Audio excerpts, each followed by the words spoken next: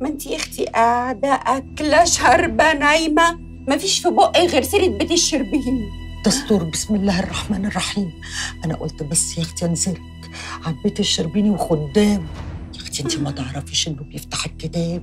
خدمه ده إيه؟ زينا كده؟ زيك يعني إيه؟ مش هو ده اللي بيتقال قدريه بنت الجن.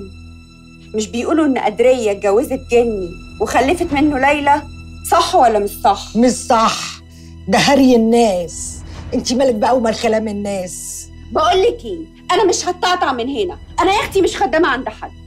مش يمكن يا بنت تروحي تلاقي السعد والهنا هناك. يا هبلة ده انت مفيش في جمالك اتنين. ده انت خيالك بس يخطف العين والقلب. مش يمكن تلاقي خيالك هناك. ساعتها تملكيه واللي يملك قلب حد في البيت كأنه ملك البيت كله يلا يا بنتي يا عبيطة حضري نفسك كده والبسي بسرعة لحسن إحنا اتأخرنا. أنا هروح وتعالي انتي حصلي ماشي؟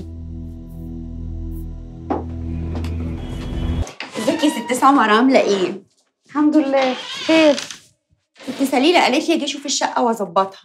ماشي عامة جهات في أوضة النوم والشقة أنا مظبطاها بس في شوية حاجات في المطبخ. أطلع أشوفهم بقى. ماشي.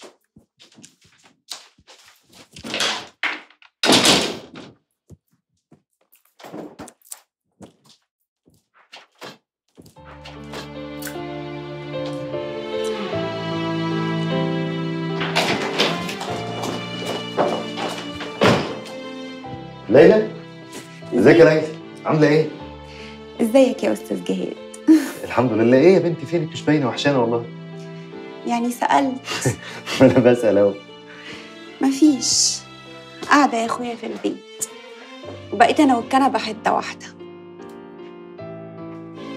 زهقت والله يا أستاذ جهاد. أنا اصلي ما بحبش القعدة. وبعدين أنا حاسة إن أنا عمالة أتفرج على الدنيا يا أخويا من بره. ومخي ده شغال. عمال يقول لي إن الدنيا فيها حاجات كتير قوي حلوة. لازم الواحد يعيشها. ولا إيه؟ بصراحة بس أنا عن نفسي ما بحبش الناس اللي بتتفرج على الدنيا من بره. بحب اللي يخش جوه قلبها ويعيشها ويجربها.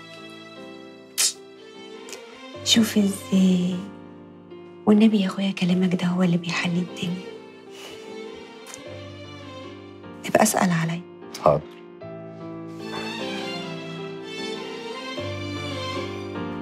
بجد. آه بجد.